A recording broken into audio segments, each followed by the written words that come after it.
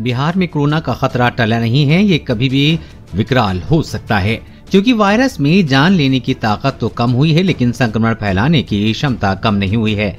Expert का कहना है कि वायरस के नए वेरिएंट के संपर्क में आते ही वायरस फिर एक्टिव हो जाएगा। नवंबर त्योहारों का महीना है और इससे बाहर से आने वालों की संख्या बढ़ी है।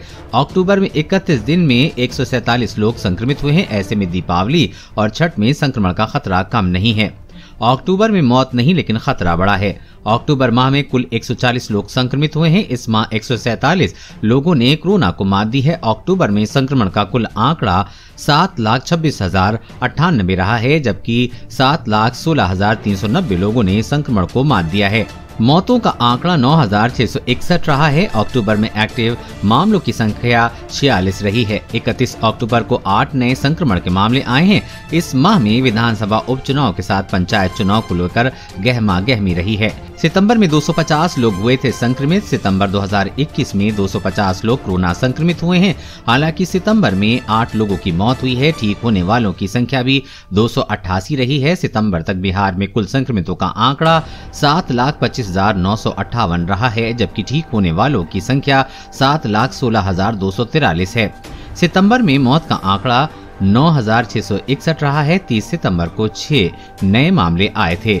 अगस्त में आठ सौ तिहत्तर लोग हुए थे संक्रमित। 31 अगस्त को बिहार में कुल आठ नए मामले आए थे और पूरे माह में संक्रमितों की कुल संख्या आठ सौ तिहत्तर रही है। अगस्त में ठीक होने वालों की संख्या 1220 रही है। कुल संक्रमितों का आंकड़ा अगस्त में सात लाख पच्चीस हज़ार सात सौ आठ रहा है और ठीक होने वालों की संख्या सात लाख पंद्रह हज़ार नौ सौ पचपन रही है। मौत का आंकड़ा अगस्त माह में नौ हज़ार छह सौ तिरपन रहा है और एक्टिव मामले निन्यानबे हैं। जानी किस तरह से बढ़ रहा है खतरा। दो नवंबर को चार नए मामले आए हैं। हर मामला पटना का ही है। ऐसे में पटना में संक्रमण के बढ़ने का अंदाज़ा लगाया जा सकता है। 24 घंटे में एक लाख तिहत्तर हज़ार चार सौ पैतालीस लोगों की जाँच करी गई है, लेकिन चार ही मामले आए हैं। अब तक कुल सात लाख छब्बीस हज़ार एक सौ दो है और ठीक होने वालों की संख्या सात लाख सोलह हज़ार तीन सौ सत्तानबे है।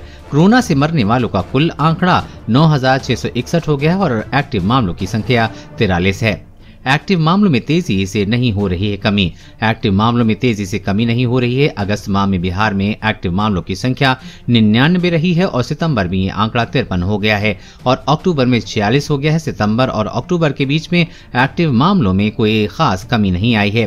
दो नवंबर तक एक्टिव मामलों की संख्या तिरालीस है। ऐसे में त्योहारों में काफ़ी सावधानी से काम लेना है। अगर कोरोना की गाइडलाइन का पालन नहीं किया गया तो मामले बढ़ सकते हैं। बाज़ार में सुरक्षा को लेकर कोई विशेष ध्यान नहीं दिया जा रहा है।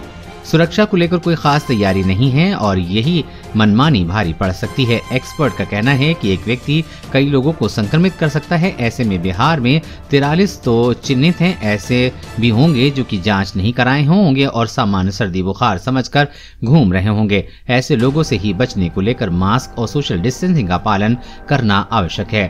कोरोना वायरस और कोरोना वैक्सीन से जुड़ी हर अपडेट पाने के लिए चैनल को सब्सक्राइब करें।